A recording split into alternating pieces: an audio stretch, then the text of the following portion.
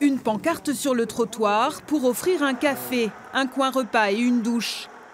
Sur cet axe habituellement très fréquenté par les routiers, Jean-Louis et sa femme ont eu cet élan de solidarité. Alors, le coin douche, et puis avec euh, le savon, les gants, le nécessaire de nettoyage.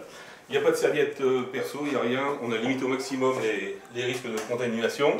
Le couple a décidé d'ouvrir sa porte après ce cri de détresse posté sur les réseaux sociaux. De toute la semaine, j'ai pu prendre qu'une seule douche.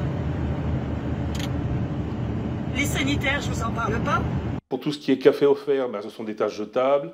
Le sucre, par exemple, on a mis un bol de sucre avec euh, une petite cuillère, comme ça, ils ne touchent même pas, eux ne touchent pas le sucre hein, pour, les, pour les autres.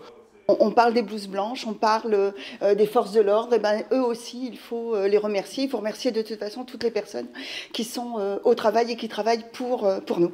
Remercier et protéger les chauffeurs routiers, c'est aussi le souhait de la communauté urbaine d'Arras.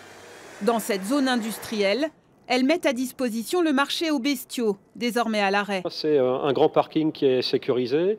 Euh, ce sont des toilettes, des, sanitaires, des douches, et puis une possibilité de, restauration, de façon à ce qu'ils puissent euh, se reposer et puis se sentir accueillis.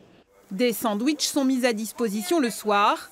Samouraï et puis une maillot à part, Le midi, la friterie du coin est toujours ouverte. Ma petite femme fait des petites gamelles, des trucs comme ça, et puis bah, je mange dans le camion. on peut, on peut manger là, comme comme ici, euh, c'est ouvert, bah, voilà, on profite et puis voilà. Quoi. Si je n'ai pas le choix, euh, je me lave avec ça. C'est des, trucs de 3 litres d'eau. Je me fais couler de l'eau au-dessus de moi et je fais un, minimum et un minimum et me changer euh, tous les jours. J'ai tout ce qu'il faut en affaire.